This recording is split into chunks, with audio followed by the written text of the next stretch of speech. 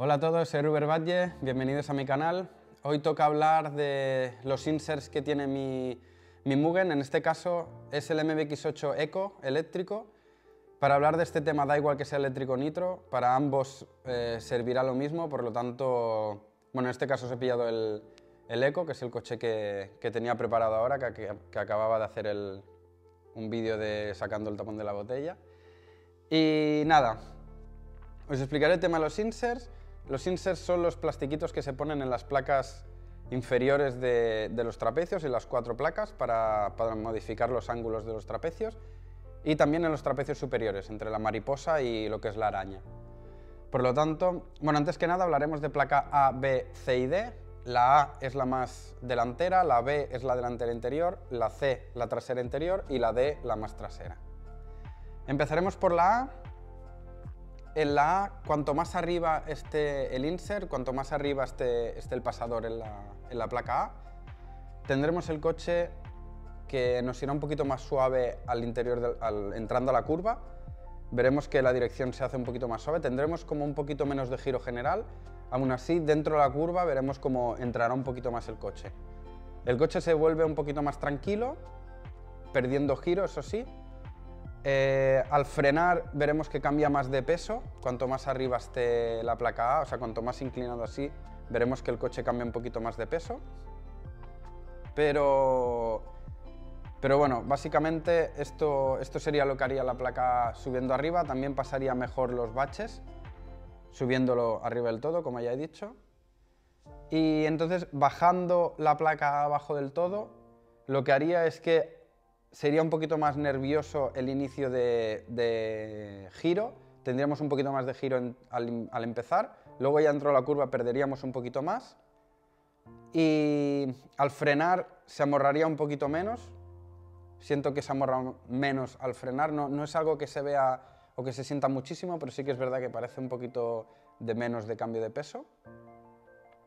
Y pasaría un poquito peor los baches, pero bueno, en contrapartida tendríamos un poquito más de giro, eso sí.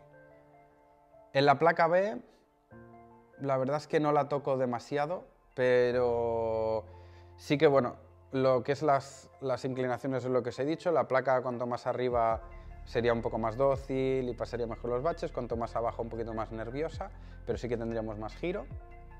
Pero bueno, también la placa A y B podríamos subirla y bajarla a la vez, entonces subiríamos y bajaríamos lo que es el pasador del trapecio. No lo acostumbro a hacer, pero sí que, que bueno, algunas veces que lo he probado, eh, cuando subimos el trapecio arriba del todo, el coche balancea un poquito menos lateralmente. Cuando lo bajamos abajo del todo, el coche balanceará un poquito más y será un poquito más noble. Yo siempre llevo la placa B en medio y subo y bajo la placa A. La verdad, no me lío mucho más que eso porque no son cambios que se noten muchísimo y la verdad que prefiero trabajar en otras áreas como inclinaciones, como he dicho, de la placa eh, suspensiones estabilizadoras, que no empezar con los, con los trapecios. Luego, el trapecio delantero superior, ahí es al revés, trabajo en subir y bajarlo, no trabajo mucho en inclinaciones.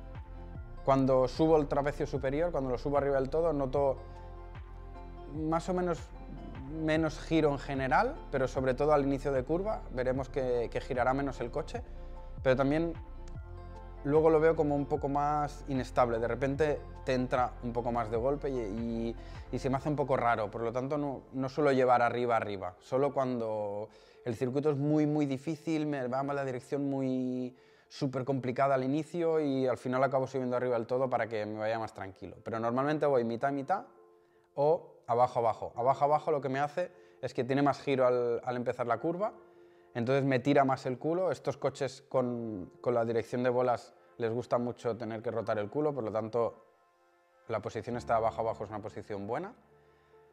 Y, y al bajar los dos, los dos trapecios abajo del todo con, conseguiremos que gire más el coche y que las reacciones sean un poco más uniformes. Por lo tanto, abajo, abajo, mitad y mitad serían las, las posiciones que más me gustarían a mí. Luego los trapecios superiores sabemos que podemos tirarlo adelante o atrás. Para adelante es eh, menos caster. Tendremos más giro al empezar la curva, pero menos al salir. Contra más, cuanto más atrás, menos al inicio y más al final. Vamos a la placa C y D. La placa C controla el antindimiento, más arriba, más abajo. Cuanto más antindimiento, más tracción hacia adelante. El coche, cuando, hay más agarre, balancea un poquito menos, cuanto más antindimiento.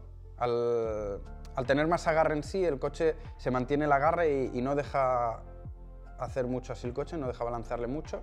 Cuando bajamos más el entendimiento, nos rotará más el coche, entonces cuando hay más agarre en circuito, al rotar más, nos rotará de golpe y hará que, el coche se nos mueva más. Eh, aún así, yo cuando no hay nada, cuando hay mucho agarre, normalmente suelo bajarle un poquito el entendimiento para así que me redondee un poquito más la curva. Pierdes un poco de tracción, pero al haber agarre ya tienes bastante tracción y te hace más fácil el coche de llevar. Entonces, cuanto menos agarre, intento subirle un poquito el entendimiento para tener más tracción hacia adelante. Siempre lo, mínimo posible mientras tengamos tracción hacia adelante, porque así nos dejará rotar el, el culo. Porque si mantenemos el culo muy muy enganchado sin agarre, nos va a morrear mucho y entonces seremos más lentos. Mugen ha sacado una placa C de más 2 y más 4. Esas dos placas hacen que tengan más o menos antihundimiento. Entonces, la placa D también nos ayuda a tener más o menos, eh, más o menos convergencia, perdón.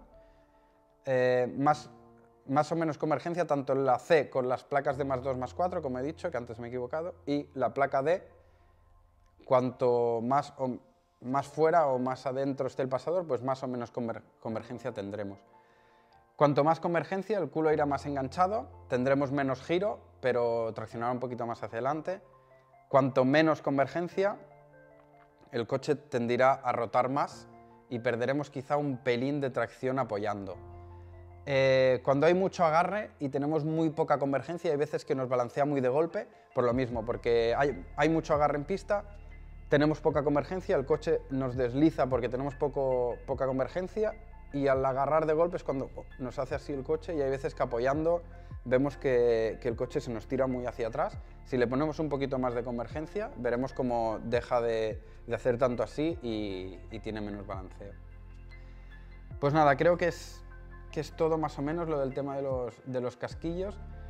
Si creéis que ha faltado alguna cosilla o si veis que algo se, se os lía necesitáis un poco más de ayuda, escribirme en cualquier sitio, tanto abajo en los comentarios de este vídeo como por Instagram, Facebook. Al final siempre lo acabo contestando, hay veces que tarda un poquito más, un poquito menos, pero bueno, siempre, siempre se acaba contestando todas las dudas que, tengáis o en el grupo de, WhatsApp de Mugen, como ya sabéis, que allí podéis, tener, podéis preguntar todas las dudas que queráis y, y os ayudaremos. Y nada, acordaos como siempre digo, compartid si os ha gustado el vídeo y bueno, si no os ha gustado, pues intentarlo compartir también, si puede ser.